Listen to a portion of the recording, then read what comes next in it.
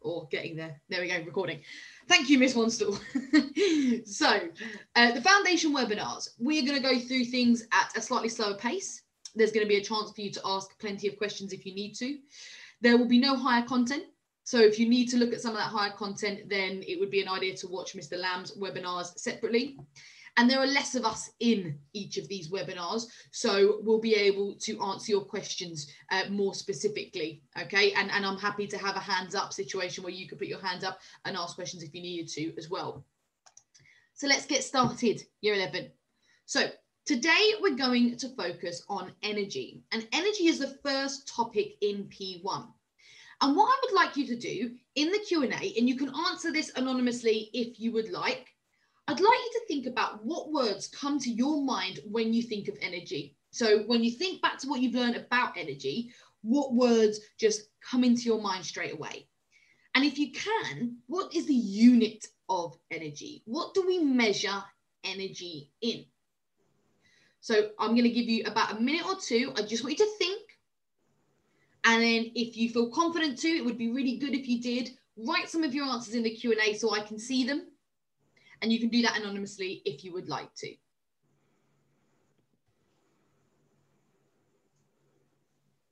Billy.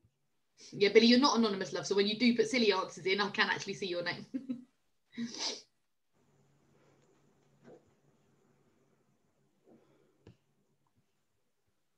so just starting to think about what you know about energy. Now, if it were me, I'd probably think of, you know, if you have energy, then you can do more things.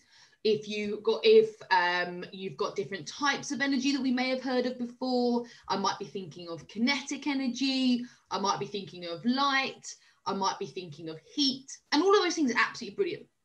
Now we measure energy in joules, okay? And so when you give an answer to a maths question, about energy, you want to be writing that J after your number because that's the measurement of joules. Year 11, if you aren't making notes right now, please do remember that this will be uploaded to the YouTube later on. Um, and if you aren't making notes, that's absolutely fine. It just might help if you to keep might help you to keep focused if you need to. So what we're going to do now is start to go through some of the content. Now you have learned this before, but it may have been a really long time ago. So it may not be the things at the forefront of your mind, but that's absolutely fine. You've got time still. So when we talk about energy, we talk about energy stores and we talk about energy transfers. And energy stores are the different ways in which energy might be stored. Now, we know that energy is never created or destroyed. Okay, there's always energy and the same amount of energy on Earth. And actually, instead of it being created or destroyed, it just gets transferred to a different store. And the stores that you have are the first one is chemical energy. Now, chemical energy is the store in your food, it's the store in petrol, it's the store of energy in between the bonds of a chemical. So when you are consuming something to give you energy, that's chemical energy. The second one is kinetic energy. Now, kinetic just means movement. Okay, so kinetic energy, if there's any movement going on, then that kinetic energy store is there. Gravitational potential energy is the energy store when something is held up high. So if I stand on the top of a hill, I'm going to have a greater gravitational potential energy than if I was standing sort of at sea level on the beach. And the way you can think about this is if you have something and you drop it from a low height, it will reach a certain speed. But if you drop it from a higher height, it's going to pick up more and more speed. And that's because it had more energy to begin with in its gravitational potential energy store. So the higher up, the more gravitational potential energy something has. Now, elastic energy is simply the energy stored when something is stretched or squashed. Okay, so if I pull this hairband, there is elastic energy stored within it. And I know that because if I let it go, it's going to ping all around the room. And I would do that, but I am slightly afraid I'll do something stupid and knock my camera off or, or something like that. Um, but that's the energy stored when something is stretched. That's your elastic energy. Thermal energy, I think you could work out it's the energy with that feeling of being warm. It's, it's your heat energy. Electrostatic energy is a bit more of a tricky one. Now, electrostatic energy is the energy between two opposite charges. So a negative charge and a positive charge. So your nucleus is positive in, a, in an atom and your electrons that go around the outside are negative. And they're held together because of this electrostatic energy store. Okay, that's one of the harder ones sort of to get your head around. You've then got nuclear energy, a nuclear energy store, and that's within the nucleus of an atom. And then you've got a magnetic energy store. And that should make sense. When you hold two magnets of opposite poles together, they want to attract, and that's because of that energy store there. So those are the eight energy stores you need to know for your exam. And they may ask you questions where they ask you to tick the energy stores out of a list of different things. They might ask you to talk about how different energy stores are transferred, and we'll look at that in a second. Now, the second column is about how that energy is transferred, formed from each, sorry, transferred, I should say, from each of these stores. So, for example, energy can, can be transferred by heating. So when I turn my hob on, my gas hob, I've got chemical energy stored within the gas that's stored um, and that's being piped through to the actual hob. When I ignite that, that turns into th a thermal energy store. It transfers to an thermal energy store. And that energy will get transferred to my pot if I'm boiling some pasta or something by heating. Okay, so that's the method of transfer by heating. The second method of transfer is electrical. And that makes sense, doesn't it, guys? We can transfer energy from one place to another through an electrical transfer. We can plug stuff in. And then the third way is radiation. Now, radiation is how energy is transferred through empty space. So it's a bit of a weird one to try and explain, but all you need to know is that light and sound are transferred by radiation. Lastly, mechanical. I can transfer energy from one store to another by literally pushing it. Okay, so if I kick a ball, I'm going to have a kinetic energy store in my leg. I'm going to kick the ball and I'm going to transfer that energy by mechanical and that ball is then going to have some more kinetic energy. Okay, so it just passes it along in terms of something actually acting on it. So the first thing you need to really think about is how are you going to memorize these? How are you going to learn these? Now, these are really good examples of things to stick on a flashcard. Okay, you could have the eight energy stores on one side, and on the back, you could list the eight. You could do a flashcard for each one with a definition and an example.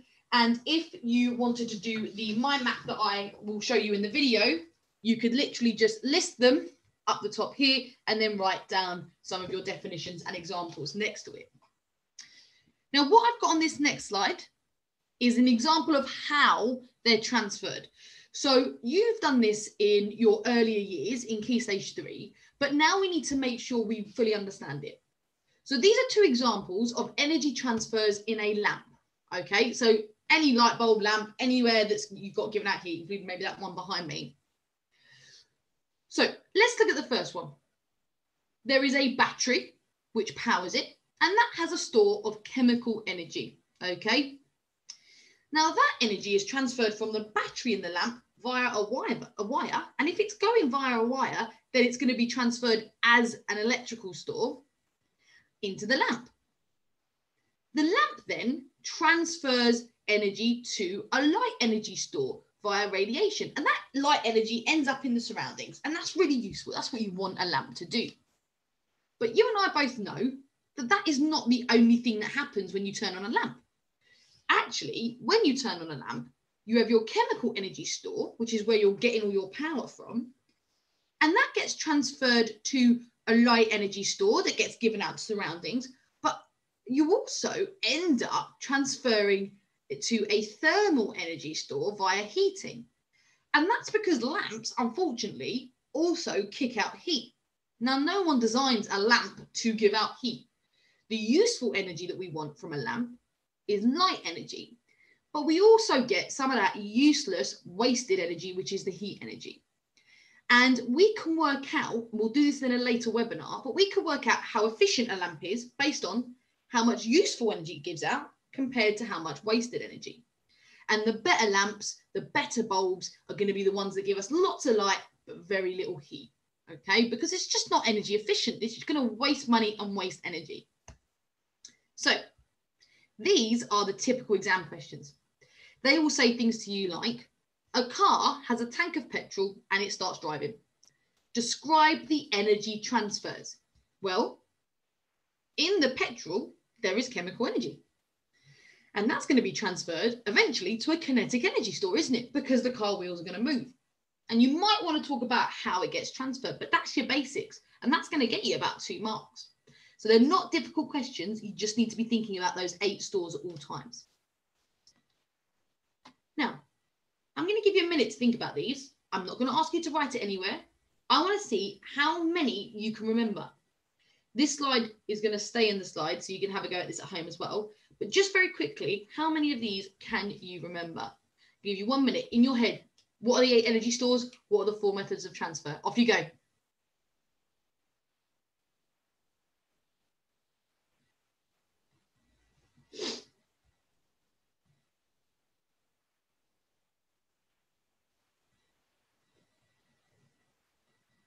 Thirty seconds more. There'll be a couple that you just can't remember, and that's okay because I'm going to show you them in a second. But really think this is how you revise best. Test yourself.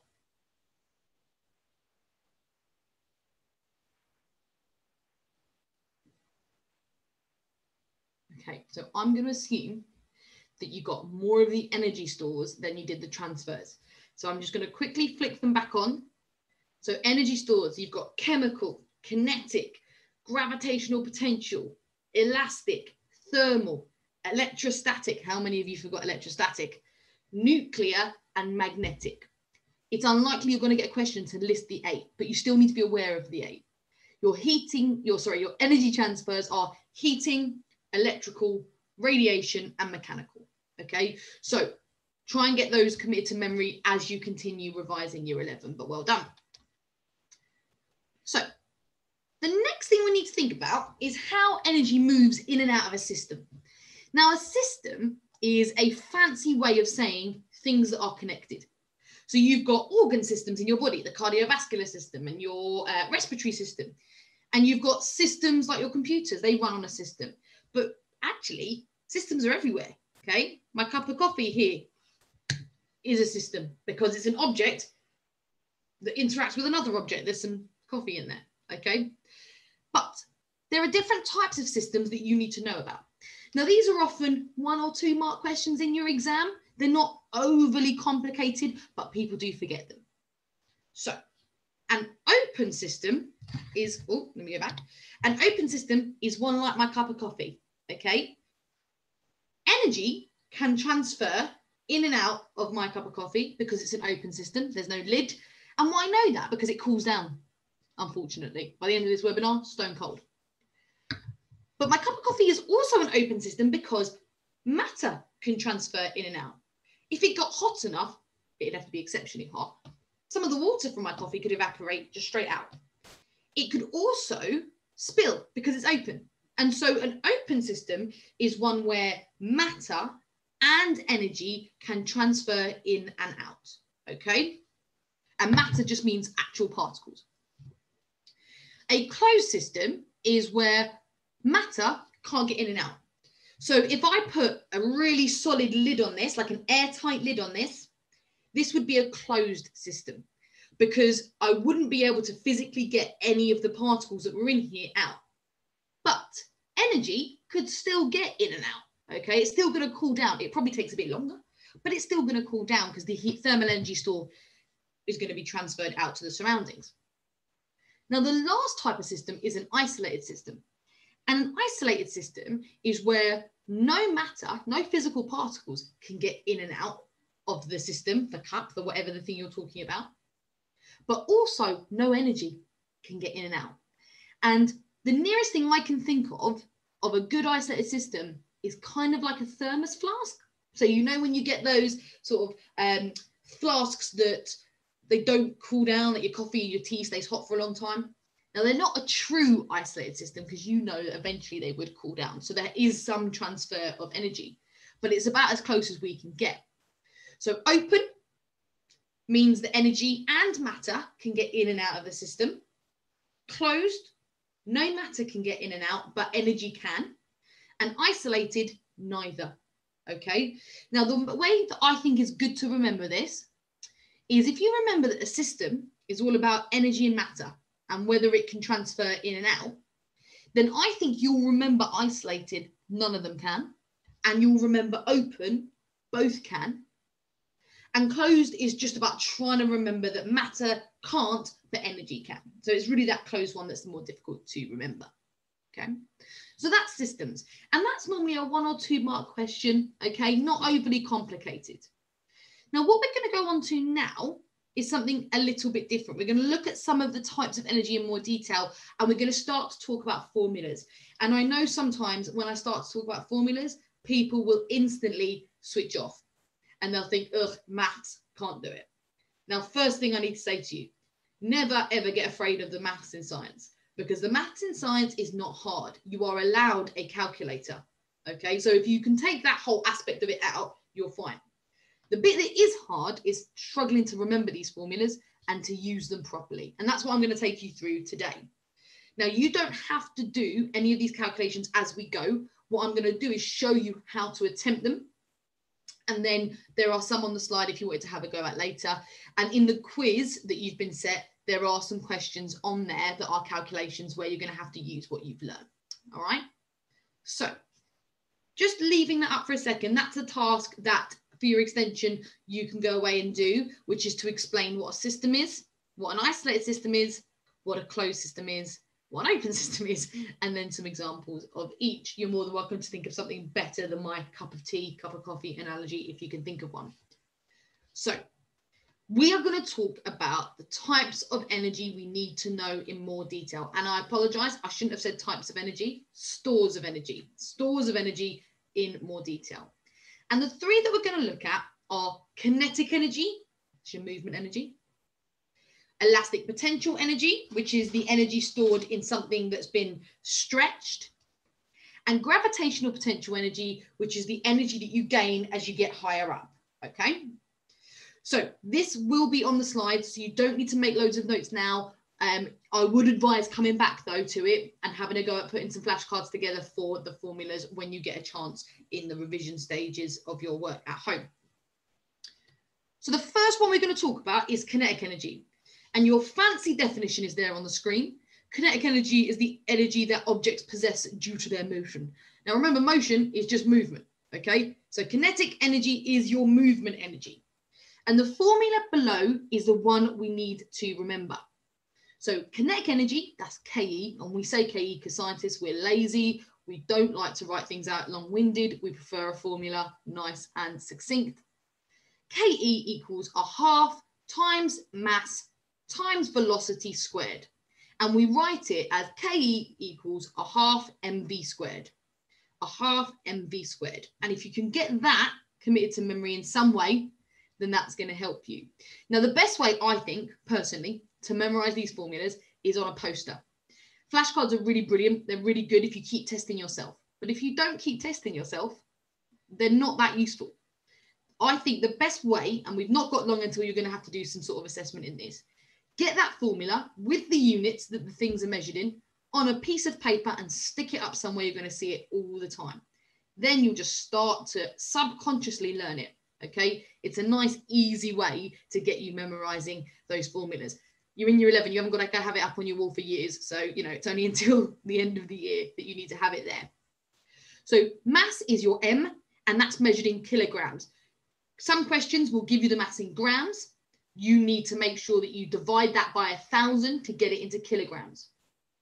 Velocity, which means speed basically, is measured in meters per second. And kinetic energy is measured in joules. Remember, all energy is measured in joules. So first thing I've done is I've gone, right, I know in my exam, I might be asked to rearrange this equation. And if you feel confident to rearrange equations on your own, brilliant.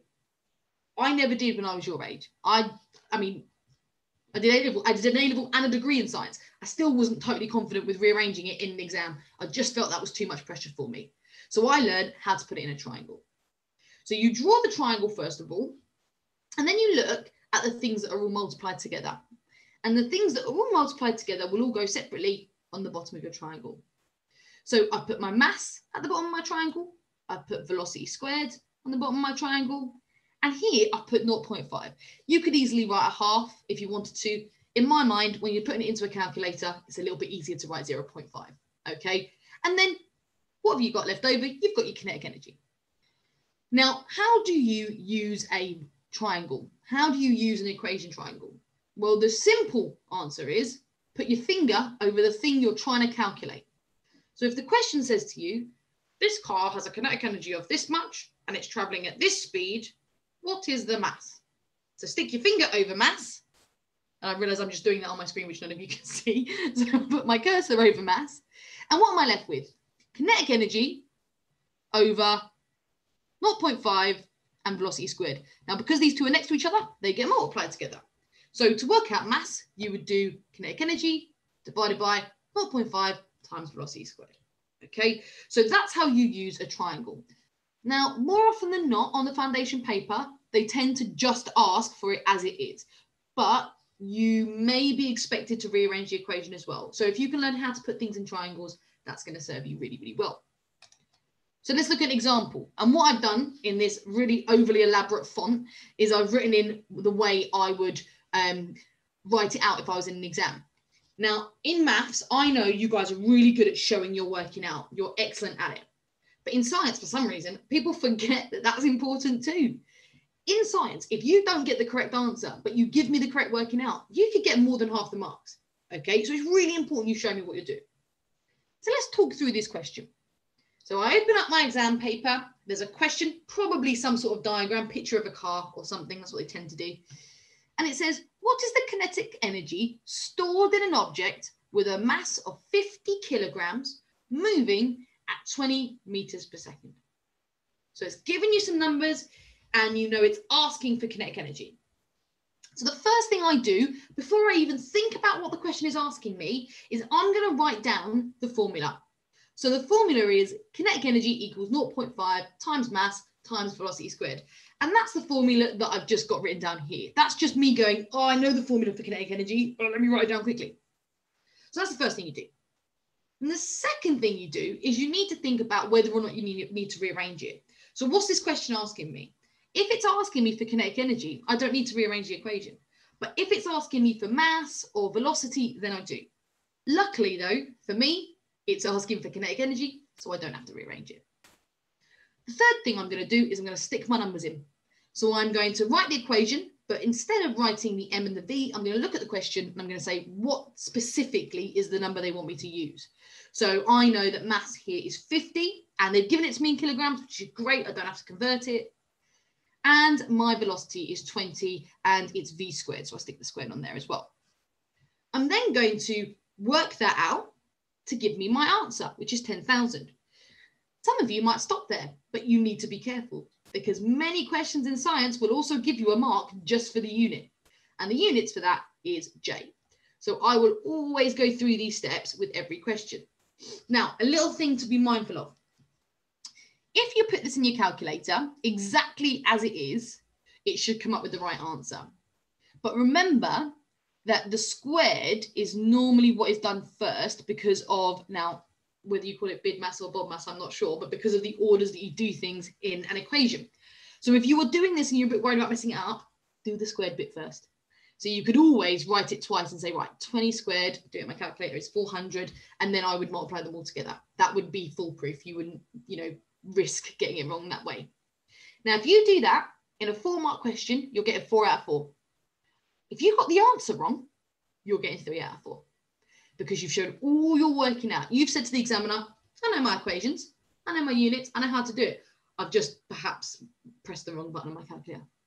And in science, we're not really we're not trying to assess you on how well you can use a calculator. So you will still get a lot of marks, even if you just get that last little bit wrong. Now, that is something that does come up a lot in exams. And don't be afraid of it. I can be completely honest with you. I've seen the examiners give you the equation, but they don't always. So make sure you've practiced and you know how to use it. And also make sure that you keep an eye on and you keep trying to memorize these formulas as well. So on there, I've got a couple of other examples that as your extension tasks, you could crack on with and submit and see what you've got. Um, it'd be a really good idea to see how you go. But this is only extension work. More importantly, I'd like to do the quiz, etc. So the second equation that we need to learn about, okay, this is gravitational potential energy. And what I've done for you is I've stuck a little definition up the top, which is when an object is moved higher, it gains gravitational potential energy. And it all depends on the mass of an object, how much height it gains, and the strength of gravity. Now I've highlighted strength of gravity because I know when I say that, people go, what? How am I meant to calculate the strength of gravity? You're not. You're on Earth, it's 10, and it will be given in the question. I have seen questions where they try and throw you and they say, you know, what would the gain in gravitational potential energy be on this planet? But they'll always give you the gravitational field strength. So you haven't even got to worry about that.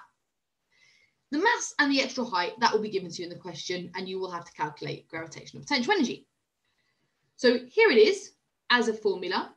So gravitational potential energy, I've written it as GPE, but you could also write it as E with the P, and that means energy that's potential, is mass times gravitational field strength, or gravity if it's easier to remember, times height.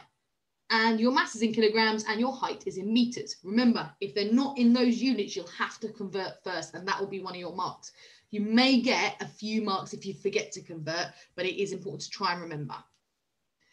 Popping that in a triangle, we have GPE at the top, and then we have the mass and the gravity and the height at the bottom, because they're all multiplied together, so they go at the bottom of our triangle. So that's there if I need to rearrange it. So let's have a go at example together again. Here I've got a question. It says, calculate gravitational potential energy when your mass is 25, your gravity is 10, and your height is two meters.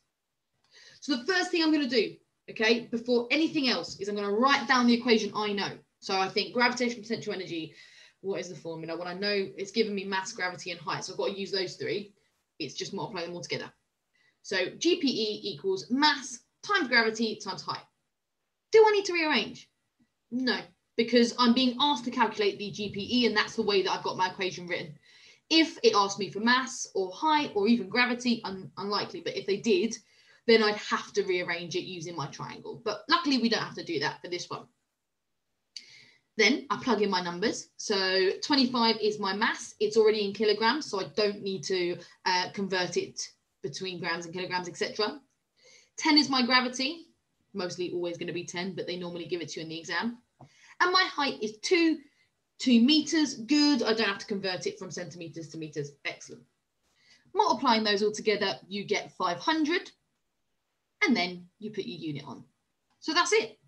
Formula, do I have to rearrange? Plug my numbers in. What's my answer? Units. The hardest bit of this whole process is the formula.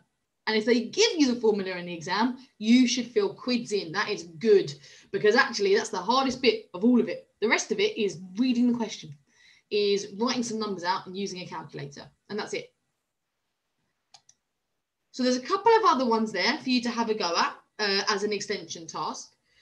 This one down here, the second one, this is your tough one. This is your grade five question. Yeah, this is the question that the very top of that foundation paper because it's asking you to rearrange. So it's asking you for height. Now remember, I've given you the triangle here and I've told you, you stick your finger over the thing you're trying to calculate and see what you've got left over. Okay, so you know how to do it. It would just be a matter of your confidence. And don't be afraid to get it wrong. We're revising. You're supposed to get things wrong at this point. The last one I want to show you is elastic energy. But I've popped this right at the top just to make sure that you don't get worried about having to memorize too many complicated formulas. You don't need to memorize this one. This one is given to you in the exam. So if they ask you for it, they're going to give it to you. And like we said, elastic potential energy is the energy stored when something is stretched. Okay. Now, the equation is down below here, and it's really similar to the kinetic energy one. It's important to note that your K is the spring constant, E is extension, it's how much it stretches, and then your energy is your elastic potential energy. Now, this is really related to a required practical where you looked at the stretch on a spring. I'm going to do a, a webinar later on just about required practicals because I think they need a good amount of time to go through them, to look at an example, etc. So we will cover that another time, but know that that's when they might come up. And that's it with elastic potential. You may be asked to calculate, but you'll always be given the, the formula and you know the way in which to go about it. You know it goes equation, rearrange, numbers, and then units. So that brings us to the end of the content I want to go through with you. But let's talk about the work you need to do. Now, first of all, I'm dead impressed that you're here. There aren't many of you in this webinar, but there's not supposed to be. That's the idea. We're supposed to be able to work more closely and to get some questions out there if we need to. The next thing you need to do is to complete the quiz on your Google Classroom. Now, the quiz will have some maths questions in there, so make sure you've got a calculator. You can use your phone as a calculator, but just be careful because um, you may need to use like the squared number, etc. And that is on a scientific calculator. I think most phones have a, a way of getting the scientific calculator up. So have a go at the quiz on your Google Classroom. That's the first bit of work that you will do. Now, the second thing I want you to do is I want you to go and watch some of this video. Now, I've made one of these for C2. Some of you may have seen it from last um, week. And I basically draw, and I've got one here. I draw a um, mind map with you and I take you through it a bit at a time. And I literally will draw it along as we go. And it's the idea is, is it helps you structure your revision. So there's the pink section up here covers everything we've done in today's webinar. So if you watch the video up until the point that I ask you to pause and to complete the energy section, and then you can do revision resources on a mind map, you can do flashcards, but what would be great is if we could see a picture of it, if we could see what you're doing. And that should go directly to your teacher who can give you direct feedback about the things that you need to do. As an extension, I've already gone through some of the questions on this slide that I'd like you to have a go at. I think lots of you will be absolutely fine with them, but please do try, okay?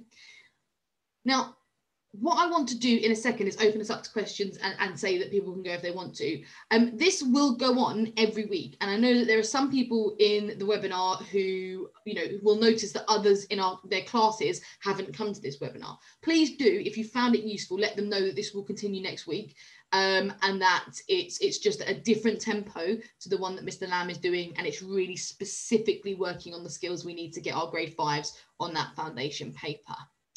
So, do we have any questions about what we've gone over? I'm going to stay for as long as it takes to to go through them. If you're happy that you that you've understood it and you feel like you can go off and, and get on with the work, you are more than welcome to leave the webinar now. It is being recorded. Thank you, Miss Wanstall. Um, and it will be uploaded on to YouTube um, whenever um, Sir gets a chance to do that and it gets downloaded. So if you've got questions, please stay and ask them. If you don't have any questions, please do feel free to leave and crack on with the work that you've got. And thank you for coming.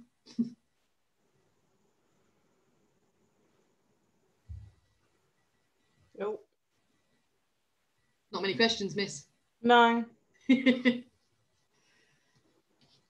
you can ask them um, anonymously if you have questions, guys. You can pop them in the Q&A. You can put your hand up and you can talk to me. Or not, if you may decide. I'll talk to you, miss. How are you? I'm fine, miss. How are you? I'm all right. Did, did you get something out of this webinar at least? Yeah, I did. I liked it. Okay. Thank you. Good, excellent. That's what that's what we like to hear. So, guys, the last two who are in, do you have any questions? Is that why you're still here? Something that you want to ask?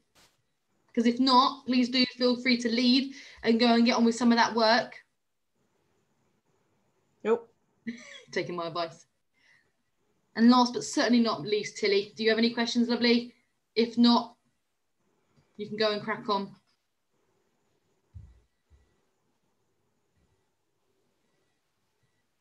And it's just you, Tilly, so there's no judgment now. No, exactly. you get two on one tutorial. It's true. It's true. Very few get that.